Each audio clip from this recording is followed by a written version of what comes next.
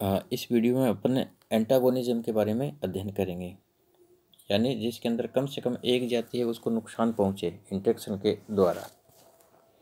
The relationship between the member of different species in which one or the both are harmed are term as antagonism तो कम, या तो दोनों जातियाँ नुकसान के अंदर रहेंगी, या कम से कम एक जाति है, वो ज़रूर नुकसान में रहती है। ऐसे रिलेशनशिप को अपन एंटागोनिज्म कहते हैं। The relationship of the antagonism include antibiosis parasitism predation and competition में अपन ये जो इंट्रेक्शन होता है इसको इन एंटीबायोसिस में डिवाइड कर सकते हैं पैरासाइटिज्म प्रीडेशन और कॉम्पिटिशन कह सकते हैं। तो सबसे पहले अपन लेते हैं antibiosis it is the production, it is the production of harmful secretion by the organism which are harmful to other organism. तो एक जाति कुछ ऐसा पदार्थ का प्रोडक्शन करती है जो दूसरी जाति के लिए नुकसानदायक रहता है। उदाहरण के तौर पे, fungi produce different kind of antibiotic substance such as penicillin streptomycin aureomycin etcetera आदि। ये जो फंगस है, ये कई सारे पदार्थ जैसे पेनिसिलिन है स्ट्रेप्टोमाइसिन ओरामाइसिन ऐसे आदि पदार्थों का सेक्रेशन करता है। These are harmful in destroying the pathogenic bacteria तो ये जो पैथोजेनिक बैक्टीरिया होती हैं, उनके लिए नुकसानदायक होती है। एक और एग्ज़ाम्पल है microcystis a blue green algae produce a toxic substance hydroxyl amine microcystis है, जो एक एल्गा है, ये एक हाइड्रोक्सी एमिन हाइड्रोक्सिल एमिन नामक पदार्थ का सेक्रेशन करती है, जो दूसरी which causes the death of fishes and the cattles that drink the water of that pond तो इस, इससे जो हाइड्रोक्सिल एमिन है, ये दूस, मछलियों के लिए और जो मवेशी होती हैं, उनके लिए ये नुकसानदायक होती है। तो जो इसका उत्पादन करती है, उसको कोई फ़ायदा नहीं होता, दूसरी जातियों के लिए ये पदार्थ है, ये नुकसानदायक होते हैं। ऐसे इंट्रेक्शन को अपन एंटीबायोसिस कहते हैं। सेकंड लेते हैं पैरासाइटिज्म। इसको अपन थोड़ा डिटेल के अंदर पढ़ेंगे। A parasite is an organism that resides on or in the body of a large living animal organism and derives nourishment from its tissue.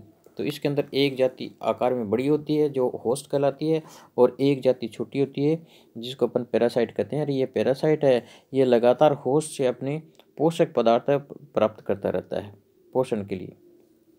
तो जिससे ये पोषक पदार्थ लेता है, वो जाति नुकसान के अंदर रहती है और ये बेनिफिट के अंदर रहता है।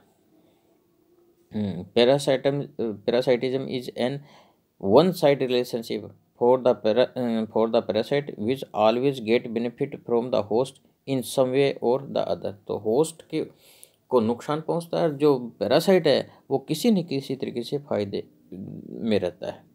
The death of the host में take place due to secondary effect of parasitism parasite मारता नहीं है अपने होस्ट को। अगर होस्ट मरता तो किसी और कांड से मरता है। पैरासाइट परमानेंटली नहीं मारना चाहता। Many protozoans platyhelminthes nematodes and certain arthropods are the common parasite found in animal kingdom तो इन वर्गों के जो जंतु हैं बहुत ज़्यादा पैरासाइट के रूप में पाए जाते हैं। हाँ, अब पैरासाइटिज्म को भी अपन कई भागों में डिवाइड कर सकते हैं। स्टडी में थोड़ा आसानी होगी। Generally there are two type of parasitism partial parasitism and permanent parasitism आंशिक और स्थायी पैरासाइट के रूप में अपन जो पैरासाइटिज्म है उसको डिवाइड करते हैं।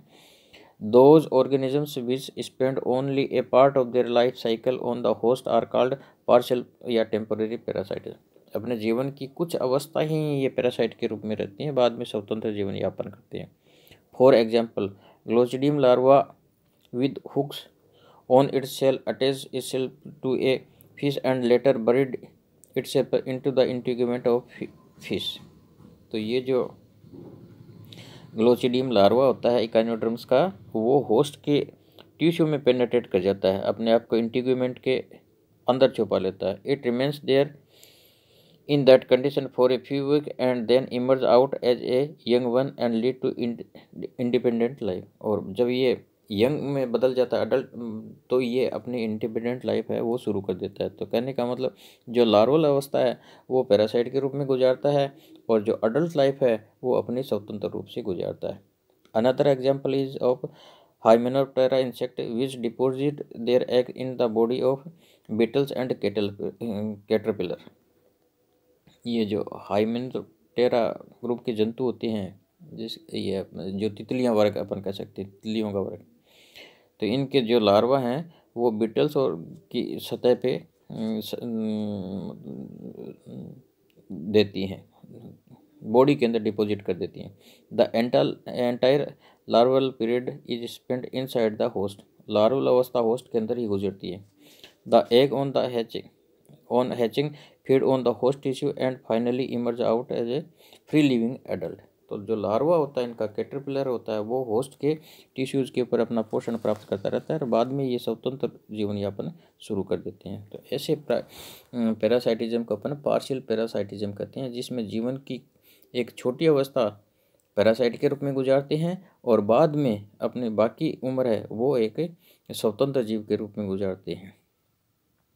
दूसरा परमानेंट पैरासाइट्स जो स्थायी तौर पे पूरा जीवन पैरासाइट के रूप में ही गुजारते हैं, उसको अपन परमानेंट पैरासाइट से कह सकते हैं। The organism which spend their entire life as parasite are known as permanent parasite the permanent parasite of plants are called phytoparasites and those of animals as zooparasite तो ये पैरासाइट पौधों के ऊपर जो होंगे, उनको अपन फाइटो पैरासाइट्स और जो जंतुओं के ऊपर रहते हैं, उनको जू पैरासाइट से कहते हैं।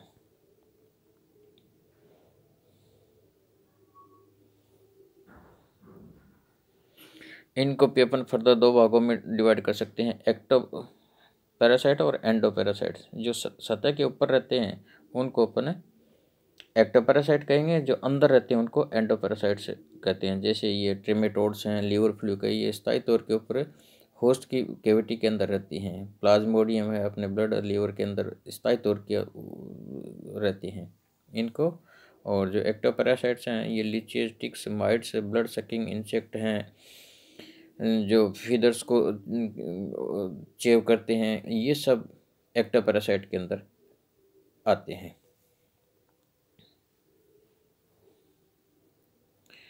आगे अपने।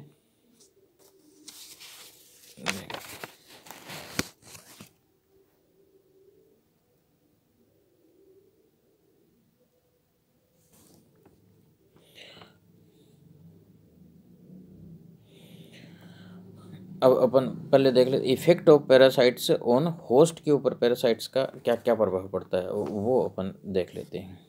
Parasite brings out profound changes in their host, which are always injurious. Some of the common changes brought about by the parasite on their host are given below ये जो कई प्रकार से प्रभावित करते हैं होस्ट को कुछ एक एग्ज़ाम्पल लेके अपन समझते हैं parasites causes disease in their host which में समटाइम्स लीड टू डेथ तो कई बार ऐसी बीमारियाँ पैदा कर देते हैं होस्ट के अंदर जिससे उसकी मौत हो जाती है मलेरिया ट्रिपनोसोमियासिस ट्राइकिनेसिस बेलाजार एनसाइक्लोस्टोमियासिस आदि बीमारियाँ पैदा हो जाती हैं, जिससे होस्ट की मौत हो जाती है इन पैरासाइट्स की वजह से।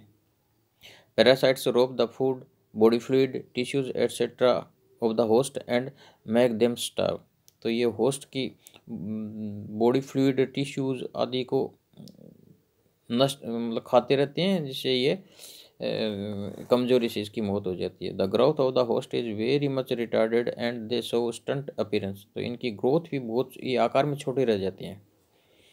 होस्ट है। ग्रोथ रुक जाती है इनकी।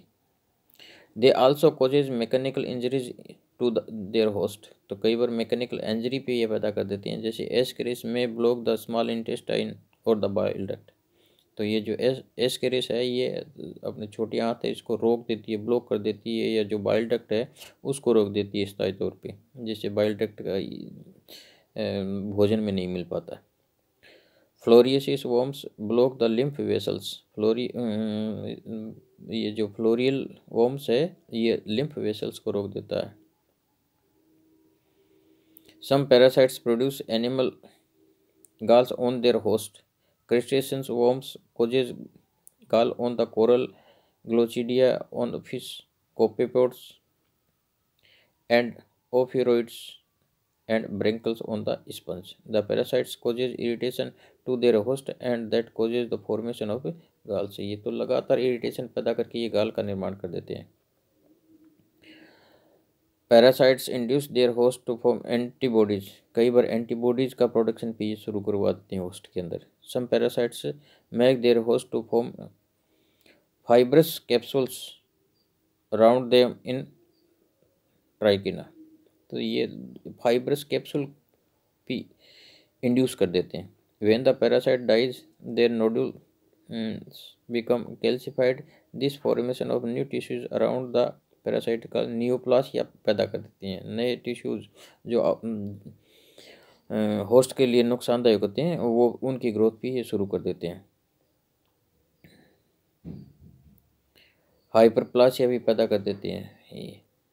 जैसे फेशियोला है। Parasite may also causes increase in the size of cells कोशिकाओं की संख्या बढ़ा देती हैं, जैसे Plasmodium normal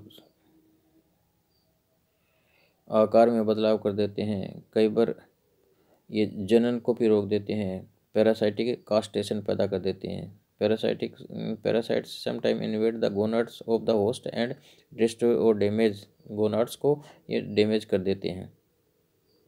Sacculina bring about similar changes on the gonads of the host crab which in the case of male show female character तो ये mail जो होता है, वो फीमेल के करेक्टर शो करने लग जाता है। इनके गोनाड्स हैं टेस्टिस हैं, उनको ये